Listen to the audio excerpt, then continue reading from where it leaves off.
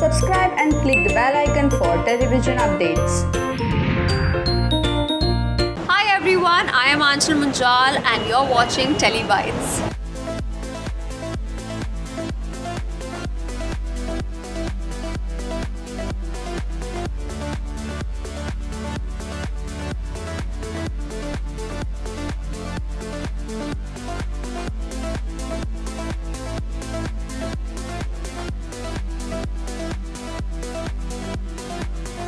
मतलब ऐसे देखने जाएँ और सोचने चाहें तो बहुत लंबी जर्नी हुई है बट अगर दूसरे तरीके से सोचे तो ऐसा लगता है कल ही शुरुआत की थी।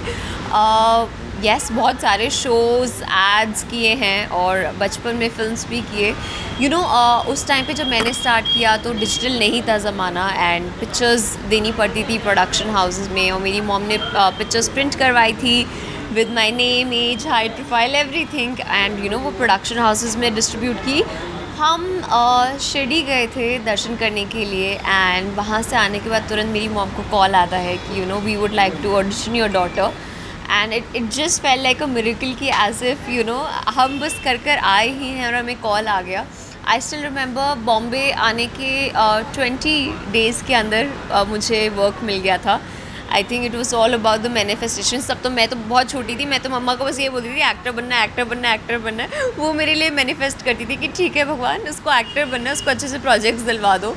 एंड इस इस इस इंडस्ट्री का एक रूल है अगर आप अच्छे एक्टर हो तो आपको काम मिलता जाएगा यू you नो know, क्योंकि अ, ये मैंने भी देखा है मैंने एक प्रोजेक्ट किया और उसके बाद क्योंकि लोगों को अच्छा लगता था काम करके भी कि अच्छा ठीक है बच्चे में ज़्यादा टैंट्रम्स नहीं है एंड ऑन स्क्रीन भी अच्छे लगता है। तो उसके बाद कॉल्स आते गए फॉर ऑडिशंस आप ऑडिशंस पे जाते थे तो I I you know I to get clicked and from then on it was मतलब नेवर लुकिंग बैक एंड काम बस मिलता गया। मेरे लिए मेरा हर प्रोजेक्ट फेवरेट uh, होता है क्योंकि मैं कभी भी बैगेज लेकर नहीं चलती हूँ।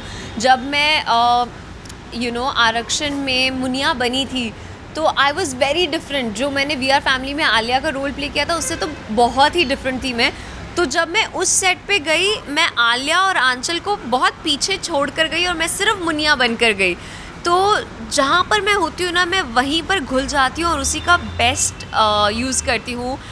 मेरे वही टीम मेंबर्स मेरी फैमिली बन जाते हैं for the project and it is only the character तो मैं एक ऐसा हो गया कि आपके दस बच्चे और आप चूज़ कर लो आपका कौन सा फेवरेट है सारे ही प्यारे हैं।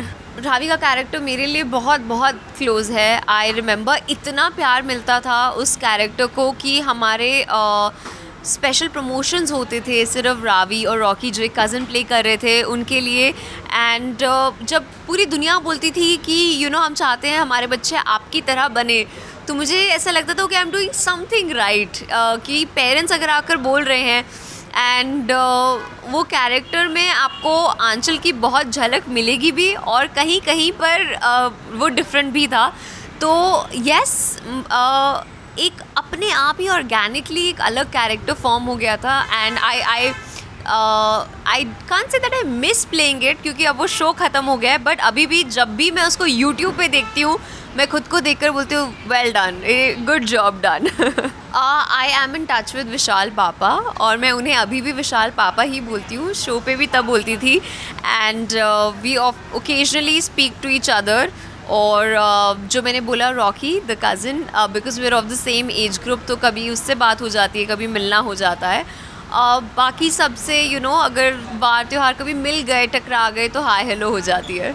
वो कैरेक्टर प्ले करना मेरे लिए as as an actor challenging नहीं था बट एज अ चाइल्ड थोड़ा सा था बिकॉज़ मैंने अपने आप को पहली बार एक ऐसे तरीके से एक्सप्लोर किया जो मैंने कभी नहीं किया था।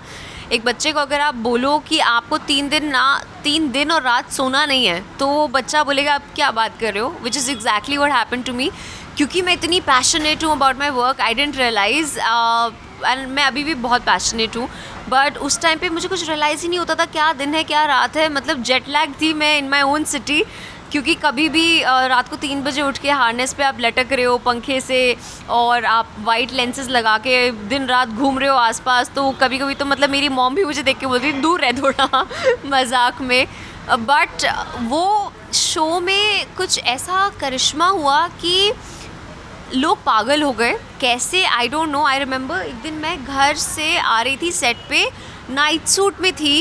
एंड मुझे बोला गया कि चेंज uh, कर लो। नहीं तुम्हारे पास चेंज करने का टाइम नहीं है। मैंने कहा हो क्या रहा है? कहते तुम्हारी प्रेस कॉन्फ्रेंस है वो भी एकता कपूर के साथ। मैंने कहा हाँ ये क्या हो रहा है? कहते पता नहीं तुमने इतना अच्छा परफॉर्म किया है कि मतलब people are going mad press is going mad and it has never happen before कि एक एपिसोड के लिए एकता मैम के साथ प्रेस कॉन्फ्रेंस हो और मैं उनके साथ ऊपर यू नो स्टेज पे गई, बैठी, वो बातें कर थी, मुझे अप्रिशिएट कर थी as to how good of an actor I am and I was like अच्छा मैं इतनी अच्छी एक्टर हूँ। तो बचपन में तो उतना रियलाइज़ नहीं होता है but it it was an amazing experience playing a ghost also मतलब वो मैंने टिक मार्क कर लिया, ये भी हो गया। अब फ़िल्मों में करने का मौका मिलेगा तो और भी अच्छा है।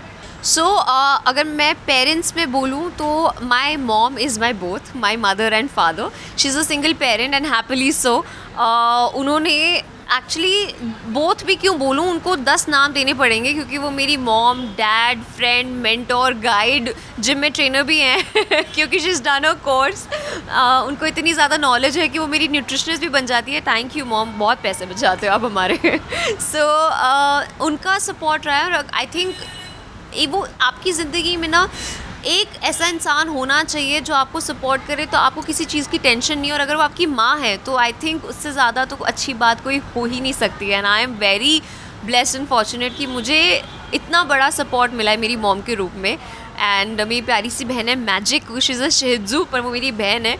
एंड हमारी प्यारी सी फैमिली एंड वेरी हैप्पी मैं आ, मैं आई थिंक स्ट्रेस फ्री ही उन दोनों की वजह से रहती हूँ। मैं जाती हूँ काम करती हूँ। और घर आके अपनी सारी दुकान मिटा देती हूँ। I just relax with them and it's a beautiful life फ़िलहाल तो अभी तक तो मतलब मेरा फोकस फ़िल्म पे है। दो फ़िल्म रिलीज़ हो रही हैं, जैसे मैंने आपको बताया। और फ़िल्मों की बातें हो रही है फ़िल्म नरेशन स्टार्ट हो गई हैं। तो फ्यूचर किसी ने देखा नहीं है।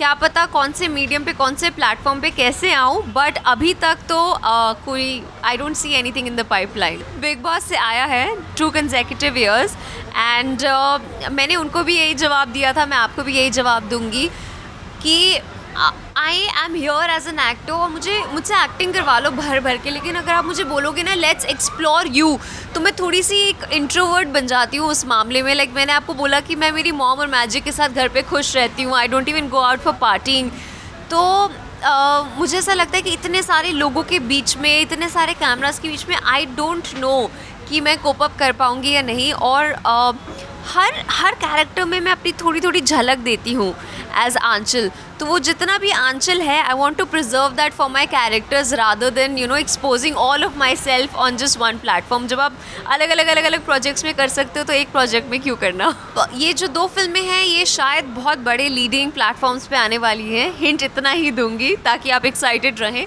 एंड जो अभी साइन हो रही है वो तो फिर प्री प्रोडक्शन फ़ेज़ में होंगी उसकी शूटिंग होगी और उसके बाद डिसाइड होगा। बट uh, बहुत जल्दी आप मुझे मंडली में देखेंगे and I am very excited कि आपका रिएक्शन क्या होगा मंडली के ट्रेलर पे? जाते जाते जनता को क्या कुछ कहना चाहेंगे आप? मैं इतना कहना चाहूँगी कि uh, मुझे आप लोगों ने बहुत प्यार दिया है एंड उसके लिए मैं फॉर एवर ग्रेटफुल हूँ और मैं बस चाहती हूँ कि मैं ज़िंदगी भर यूँ ही आपको एंटरटेन कर सकूँ ताकि आपका प्यार ले सकूँ क्योंकि अब इसकी आदत हो चुकी है। थोड़े टाइम के लिए गायब हुई थी बट फॉर अमेजिंग फ्यूचर ताकि मैं फ़िल्मों में आ सकूँ, आपको और ज़्यादा इंटरटेन कर सकूँ अलग अलग कैरेक्टर से। दो फ़िल्में आ रही हैं stay stay tuned because I am sure as always you will love me my fingers are crossed